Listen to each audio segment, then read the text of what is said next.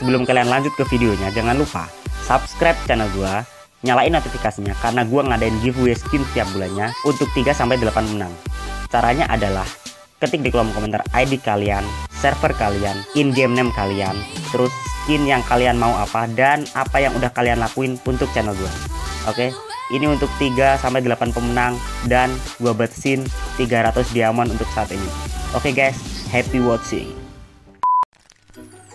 Sap bro Welcome back to my channel Sitole Dan kali ini gua bakalan ngasih tahu kalian tentang update dari Mobile Legends yang terbaru ya. Ini terbaru ya.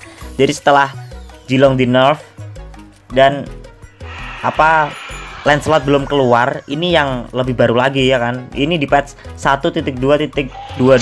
Nah, itu. Tapi entah kapan keluar, gue juga belum tahu. Ini baru ada di server advance belum tahu keluarnya di original kapan belum tahu gua. Dan ini gue punya eh sorry sebelumnya ini update nya gua kasih garis besarnya ya. Update nya ini Lancelot keluar. Ini kan Lancelot masih belum keluar nih ya kan? Masih ngebak-ngebak doang di original server saat ini. Nah ini bakalan ke depannya nih Lancelot keluar. Terus ada skin buat Lancelot terus ada skin baru buat Carry menyambut datangnya Halloween ya kan? Terus gue punya kabar buruk dan kabar baik. Terus apa sih kabar buruknya? Gua kasih kabar buruknya dulu biar ntar kan bersusah-susah dahulu, bersenang-senang kemudian ya kan asik. Oke lah. Pokoknya pertama kabar buruknya nih ya. Ini sekarang Cyclops di nerf, guys. Gue juga bersyukur nih Cyclops di nerf. Supaya biar imba juga karena parah sakitnya saat ini sekarang ini parah Cyclops sakitnya itu. Pokoknya parah mage dah, bukan Cyclops doang ada si siapa namanya? Kagura. Kagura terus Cyclops. Pokoknya gila-gilaan magi itu saat ini. Dan ini kabar buruknya nih bagi user Cyclops nih Cyclops di nerf sekarang guys. Di nerfnya apa sih? Nih gua bacain ya. Pertama best movement speed adjust from 250 to 240 nah ini dirubah dari jadi basicnya kecepatannya dia movement speednya dia itu dari 250 ke 240 emang nggak nggak begitu kerasa sih tapi kan yang namanya nerf tetap merugikan ya guys. Ya kayak gitulah pokoknya. Terus yang kedua star power lockdown atau ultinya si Cyclops itu cooldown of all rank adjust from 36 detik to 43 detik. Nah ini ini buat ultinya dia. Yang sebelumnya itu di 36 detik cooldown sekarang jadi 43 detik. Lah ini ini yang lumayan kerasa nih nih 36 ke 43 nih 8 detik lumayan kerasa ya kan. Eh berapa? Iya lumayan kerasa banget lah pokoknya. Ini di semua level ya dari 1 2 3 dikurangin cooldownnya terus kabar baiknya apa guys? Nah ini bagi user-user MM nih terutama carry sama Moskov. Ini di buff guys. Apa sih buffnya? Pertama buffnya carry nih spinning light wheel ini yang skill satunya dia. Slow effect 60% increase to 80% ya kan? Dari yang sebelumnya 60% ke 80% ini juga kerasa banget nih yakin gua. Terus physical damage ratio is new now from equipment given given physical instead of total physical damage. Ratio increase from 0,9 to 1,3 nah ini juga nambah damage nih di, di semua apa namanya equipment yang dipakai sama si carry nih. Terus phantom step yang skill 2 nya cooldown dari 65 6,5 detik 6,5 terus 6 terus 5,5 terus 5 terus 4,5 terus 4 nah ini ini dirubah dari yang tadi ya kan? Ke 6,5 5,8 5,1 4,4 3,7 terus 3 nah ini juga di di buff nih. Dari yang sebelumnya agak lambat ke cepat ya kan? Berguna banget nih bagi user-user carry yang sempat vakum ya kan? Selama pertama dulu waktu rilis carry bener-bener wow bener-bener overpower. Terus di nerf sepi pengguna sepi user. Terus sekarang ini di buff lagi bakalan rame lagi nih gue yakin nih. Terus kabar baik yang kedua Moskov juga di buff guys. Gila ini abis walker nah ini ini apa ya?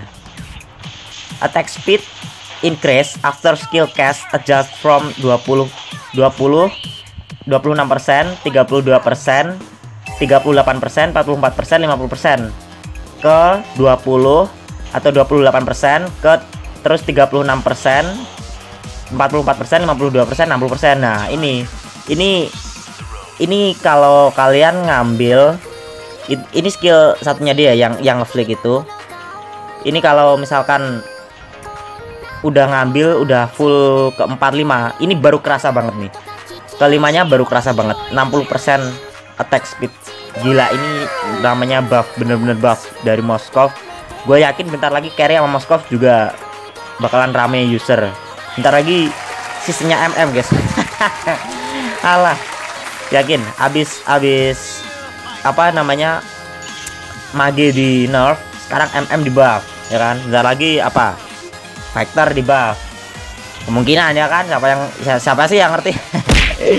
Oke jadi itu guys. Buffnya ada kabar baik buff dan nerf dah. Ada kabar baik sama kabar buruk. Nah itu. Gue juga biar biar rada-rada imba eh imba. Biar rada-rada balance gitu loh guys. Menurut gue ini saat ini mage itu bener-bener imba. Imbalance banget. Apalagi Cyclops. Ini Cyclops di nerf gue bersyukur banget. Maaf ya bagi user Cyclops semuanya. Soalnya gue gimana ya gue kalau ada game yang imba kayak gitu alah rasanya sakit guys. Gue udah biasa pakai MM terus di nerf alah. Terus biasa pakai mage di buff alah. Seneng banget.